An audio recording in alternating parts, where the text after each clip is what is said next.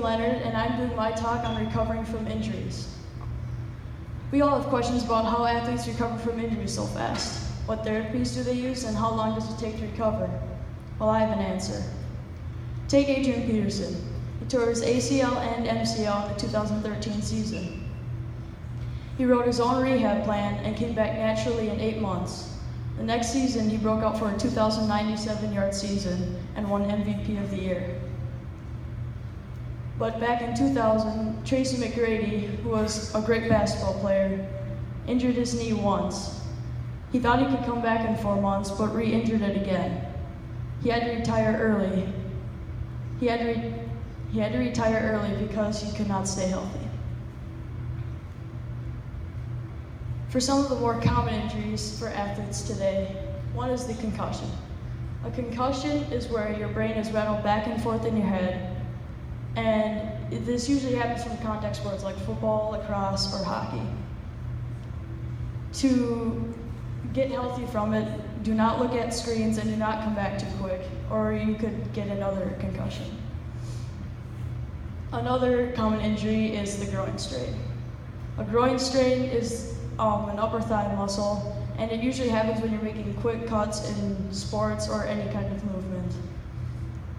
To get back, and prevent these, you want to exercise well before practices and games and stretch well.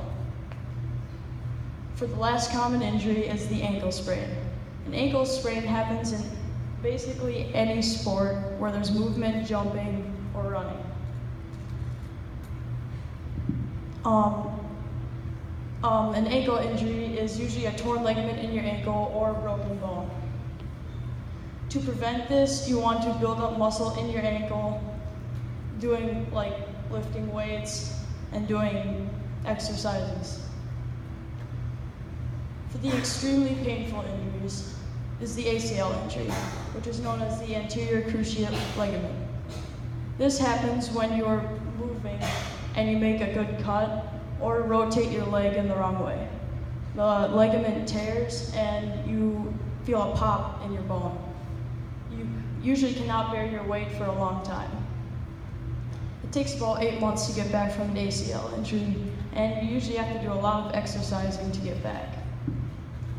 Approximately 150,000 US Americans get ACL injuries every year. Most of them are athletes, and about 300,000 every year around the world.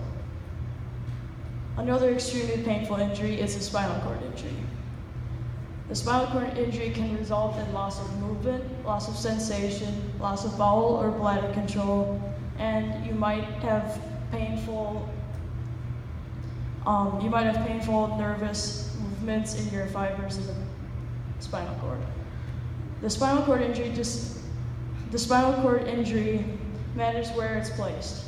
If it's at the top of the spinal cord, usually use movement in everything but your head and neck. The lower it gets, the lower the loss of movement happens. Did you know that physical therapy is the number one leading rehab plan for people with spinal cord injuries? Physical therapy is basically an exercise and stretching for people to get their move, some of their movement back. So I took a survey for my seventh grade class, and this is what turned out. 80% of my seventh grade class has gotten injuries before and 20% has not. And about 60% have gotten two or more injuries. Also, as you see here, the ankle sprain with eight, the groin strain and concussion with six are one of the most leading injuries in our society today. Also a shin, shin splints. It takes about for most people, it takes about one month or less to recover. These, these are usually for the common injuries like the ankle sprain, concussion, or groin injury. But for some people, it takes more like seven months or something like that because they're more risky injuries. So, for my conclusion, um, it's hard to recover from injuries, and I really hope you learned something about injuries today and what kind of injuries are out there and how to prevent them. Thank you.